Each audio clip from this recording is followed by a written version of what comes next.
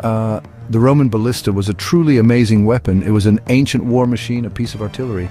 Think of it like a giant crossbow, but, you know, much, much bigger and far more powerful. The Romans used it in many battles and it helped them conquer vast lands. This machine was a marvel of engineering and it really struck fear into the hearts of their enemies. It was a key part of Rome's military might, dominating battlefields for centuries. The ballista was not just another weapon, it was a symbol of Roman ingenuity, and honestly, it was a symbol of Roman power. When enemies saw a ballista, they worried. They knew what it could do. It could smash through wooden walls and it could launch deadly bolts great distances. Its reputation often preceded it. It was a psychological weapon too, a testament to Roman military thinking. Many people think ballistas were only for sieges. It's true, they were brilliant at breaking down forts. They could hurl heavy stones at enemy walls, or they could fire large, sharp bolts. But Roman generals were clever and they found other uses for the ballista. It could be used in open field battles, targeting enemy formations or even commanders. This made it incredibly versatile. The ballista truly changed ancient warfare. Before it, sieges could last for years, and attacking a fortified city was very hard. The ballista gave the Romans an edge, allowing them to attack from a safe distance. It could punch holes in enemy defenses, and this innovation was a real game changer. Armies had to adapt to its presence. It was a weapon that reshaped history, and the Roman army became even more dominant. The Roman Empire was always expanding. Roman legions marched across Europe, Africa and Asia. They met many different enemies, and some of those enemies had strong fortified cities. These cities had high walls and strong gates. Roman soldiers needed a way to break in. They needed a powerful siege weapon. The ballista was a perfect solution. It helped them overcome these tough defenses, and it was crucial for their territorial ambitions. Enemy fortifications were a big challenge. People built walls of stone and thick wood. They dug ditches and built towers. These defenses could stop an army. But the Romans were determined engineers. They knew they needed something special, a weapon to breach these strongholds. The ballista was designed for this task. It could systematically dismantle enemy defenses, giving the Romans the key to locked gates. The ballista was not just about physical destruction. It was also a tool of psychological warfare. Imagine you are a defender on a wall and you see the Romans setting up these giant machines. You know what's coming next. Huge bolts or stones will fly towards you. And the sound of the ballista firing was terrifying. The impact was devastating. This fear could break an enemy's will to fight.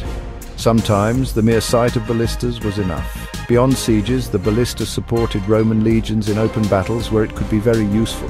It could fire into enemy ranks, breaking up their formations, making them easier for the legionaries to attack. It could provide covering fire, protecting Roman soldiers as they advanced or as they built their own siege works. It was an integral part of Roman tactics, a force multiplier for the legions. So, what did a Roman ballista look like? Well, it was a large, impressive machine. It resembled a giant crossbow, as we've said. Usually it was mounted on a wooden frame. Sometimes this frame had wheels for mobility, and other times it was a fixed emplacement. It had two strong arms like a bow, held in a sturdy central structure. A slider ran down the middle to guide the projectile. It was clearly a weapon built for serious power. The Romans used strong materials to build ballistas. The main frame was made of good quality wood oak or ash were common choices. These woods were tough and resilient, but the most important parts were the springs. These were not metal coils like modern springs. Instead, they used torsion power. Bundles of animal sinew or hair were twisted tightly, and these sinew ropes stored immense energy. Metal parts reinforced joints and moving components. How did this incredible machine actually work? The principle was quite clever using torsion. Those tightly twisted bundles of sinew were key. The two arms of the ballista were inserted into these. When the arms were pulled back, the sinew twisted even more, storing a massive amount of potential energy. A winch, a kind of crank, was used to pull back a strong drawstring engaging the arms. The projectile, a bolt or stone, was then loaded. It was a complex system, but, you know, very effective. Once loaded, the ballista was ready to fire. The crew would aim the machine carefully, often adjusting the stand. When the trigger was released, it was dramatic. The twisted sinew ropes unwound with huge force, snapping the arms forward powerfully. The drawstring propelled the projectile and it flew at high speed towards the target. Ballistas could be surprisingly accurate and their range was truly impressive for the time. Using a ballista in battle required a trained crew. It was not a weapon one soldier could operate alone. A team was needed to load it, to wind the winch and pull back the heavy string and to aim this powerful machine. Positioning was also very important. Commanders would place ballistas strategically, usually on high ground if possible, or where they had a clear line of sight. They needed protection, as they were valuable assets. In sieges, the ballista truly shone. Its main job was to break down enemy defenses. Stone projectiles could hammer city walls, gradually weakening them until they crumbled. Large iron-tipped bolts could clear ramparts, making it dangerous for defenders to show themselves. They could also target gates or destroy enemy war machines on the walls. The ballista was a relentless attacker, pounding the enemy into submission.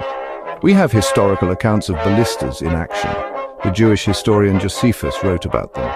He described their use by the Romans during the siege of Jerusalem, for example, and at the famous siege of Masada. Josephus noted their terrifying power. He told how ballista bolts could kill men instantly, even at considerable distances. These accounts show how effective they were. They were not just legend. They were real battlefield threats. The ballista had a huge impact on Roman military success. It gave Roman armies a significant advantage, especially in siege warfare, which was common. It allowed them to conquer fortified cities which might otherwise have been impossible to take. The ballista demonstrated Roman engineering skill. It showed their ability to create advanced technology and its design influenced later siege weapons, even into the Middle Ages. The Roman ballista was a true icon of ancient military might.